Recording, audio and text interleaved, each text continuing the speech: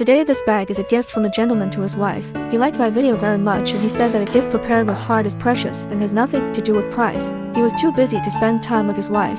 So he asked me to customize this meaningful bag and wanted to surprise her. I have witnessed many love stories of couples and lovers, and I think sometimes you need dependable lovers instead of great love.